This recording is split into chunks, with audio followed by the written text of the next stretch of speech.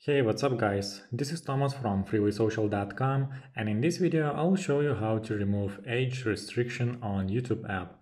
If you cannot view a video because it is age restricted but you still want to view it, then there are a few solutions to fix this problem. I will show you how to tweak YouTube settings and if it does not help, I will show you another trick that will surely solve this problem and remove age restriction. Just follow these steps.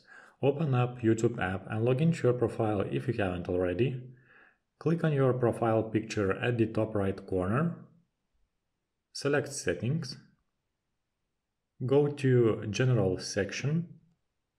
Scroll down and switch the toggle off next to Restricted mode.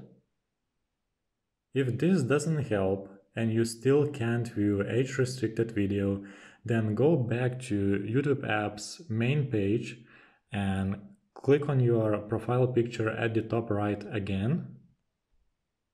Click on Manage your Google account. Go to Personal Info tab. Click on Birthday option.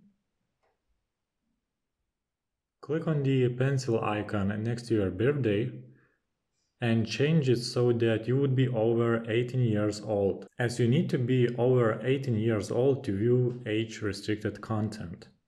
After that, click on Update at the bottom right corner. Done. Now you should be able to view age restricted videos. I hope this guide was helpful and you were able to remove age restriction on YouTube app. Don't forget to like this video and visit us at freewaysocial.com.